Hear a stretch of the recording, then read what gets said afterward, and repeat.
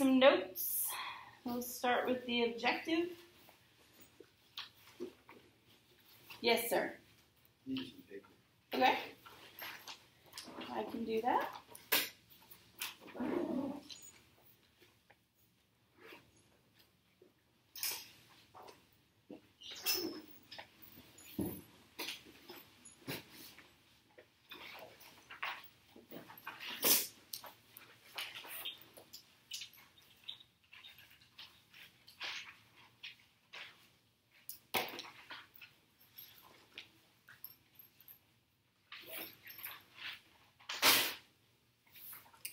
Kendra, do you have something to write with? Okay, sweet.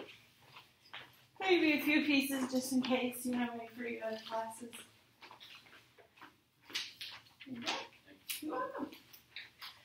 So that TSWBAT stands for, of course, the student will be able to. And we've been talking about different kinds of pay. Uh, we've been talking about salary and how to figure that out. We've been talking about hourly pay. Now we're going to talk about commission, piecework pay, and then talk about the advantages and disadvantages of pay based on production.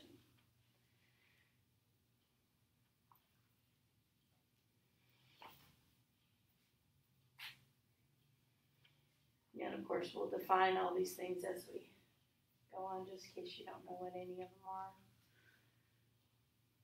or some of them are.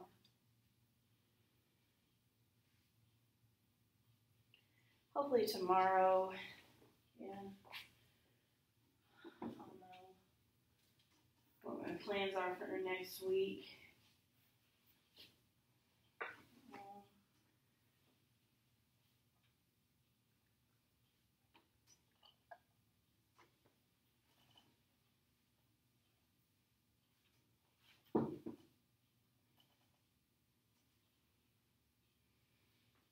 Do you think you want to do another homework quiz, like over 6.2 and 6.3, and then take a test, or you just want to take a test? Or do you care? I'll look at it and decide. Homework quiz, of course, you get to use your homework and stuff on. We will still take a test, but I didn't know if you wanted probably will depend after you look at all the homework and see how you're feeling about it. I already have a homework quiz made up, which is kind of why I'm like, hmm, may do a homework quiz.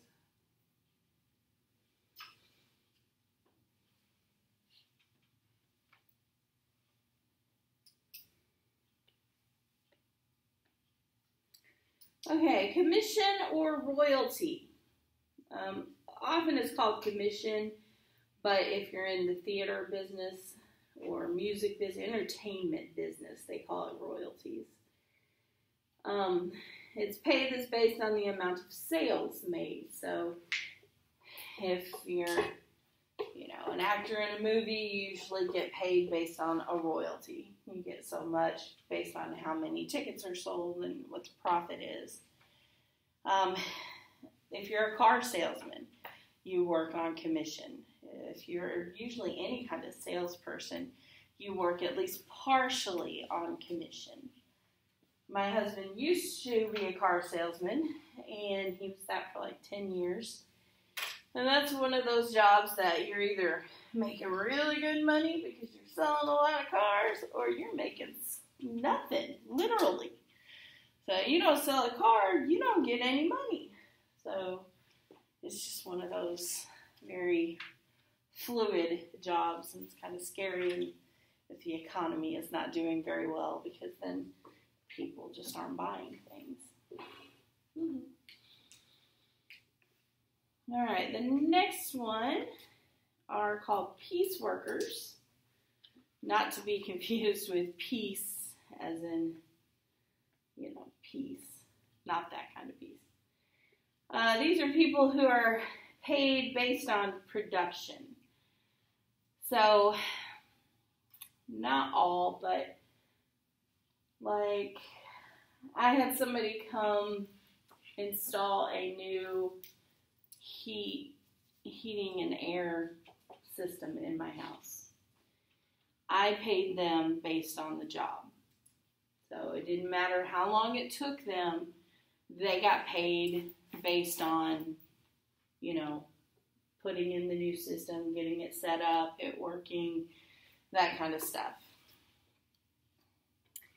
If you are paying piece workers, let me advise you don't pay them up front.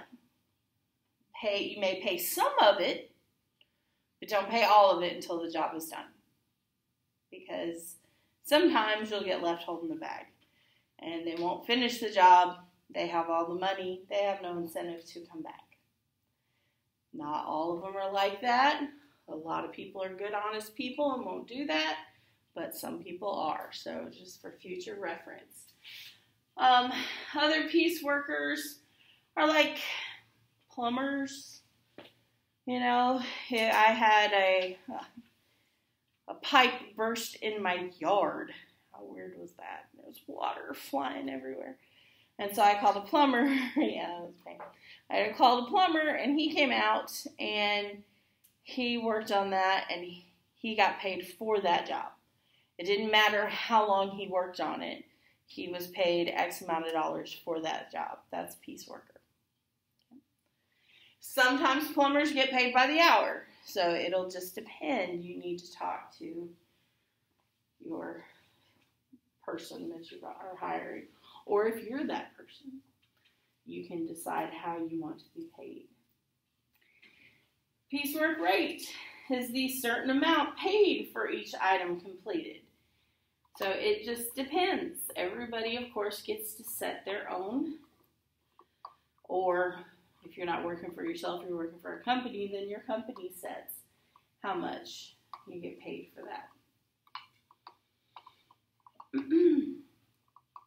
I had a fence put in, and this is why I tell you to don't pay up front. We made the mistake, we were very young and naive and made the mistake of paying them up front. They did kind of finish the job, but they they didn't do like all the little things that like they didn't put handles on the doors.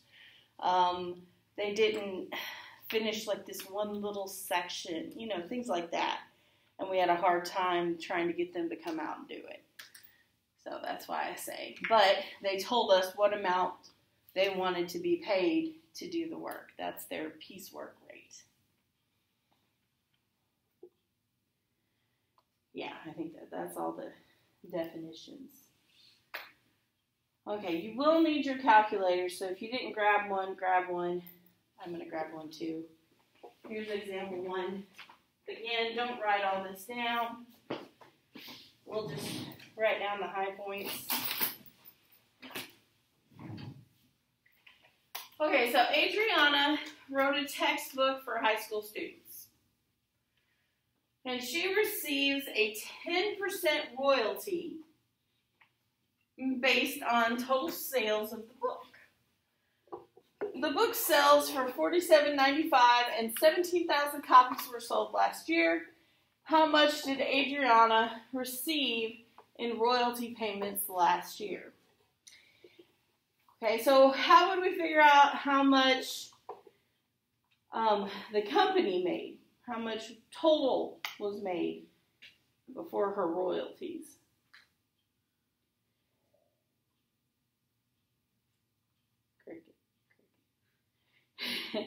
The book is forty-seven ninety-five, and she sold seventeen thousand. So how do I find out how much money was made for each book? Yeah. So we're going to take $17,000, here's what you need to write down, times 47.95. It's going to be a good chunk of change.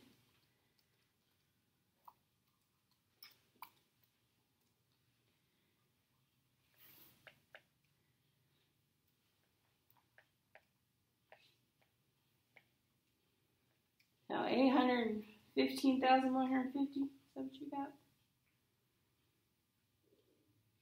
Yeah? No?